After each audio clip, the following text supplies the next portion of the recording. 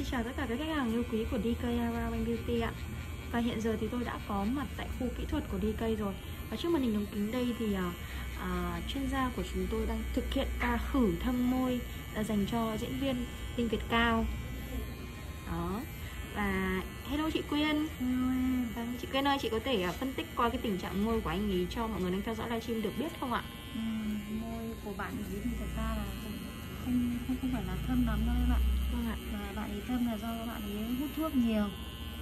Thì của bạn ấy nó hơi thâm. Và thâm nhiều ở hai phần bên mép này. Vâng ạ. Mấy anh chị mới có đi một lượt thôi thì nó đã bật tông lên là rất là nhiều. Còn phần môi trên là do ủ tê nó bợt còn nó môi dưới thì nó đã bật tông lên hơn hẳn rồi.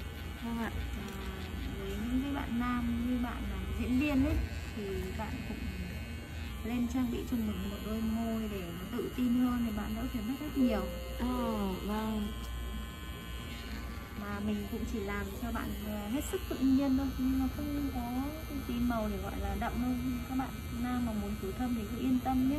Vâng ạ. Vậy sau khi mà khử thâm như thế nào xong thì cái màu của nó sẽ như thế nào hả chị Quyên?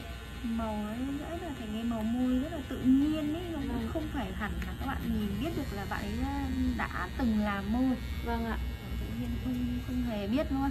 Vâng ạ. Môi lúc là chỉ có cái sắc hồng tươi Vâng. tắn thôi. Có rất nhiều những anh nam giới quan tâm đến dịch vụ khử thâm nhưng tuy nhiên là rất là lo lắng. Vì là sợ là sau cái quá trình làm môi xong thì môi sẽ bị uh, lên màu rất là đậm giống như kiểu đánh son thế cho nên là khi mà nhìn những cái hình ảnh ở trong cái quá trình này thì chắc chắn là các anh nam giới sẽ yên tâm hơn rất là nhiều vì quá trình khử thâm môi tại DK. Sau khi khử thâm xong thì màu môi của các anh sẽ rất là trong này và trở về cái màu môi tự nhiên chứ không hề giống như là đánh son nhé. Cho nên là các anh đừng lo. Vâng thì uh, trung bình thì uh, một ca khử thâm môi dành cho nam là kéo dài bao nhiêu lâu hả chị Kiên? Khoảng độ 30 phút em ạ. 30 phút ạ? Ừ.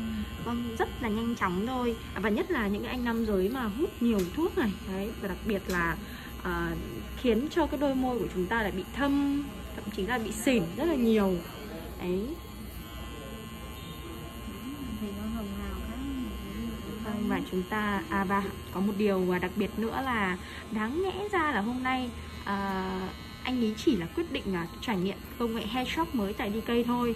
Nhưng tuy nhiên là sau khi mà được nghe đội ngũ tư vấn uh, tư vấn về uh, uh, tình trạng môi thì anh uh, Linh Việt Cao đã quyết định là thực hiện trải nghiệm thêm dịch vụ uh, thử thâm môi dành cho nam.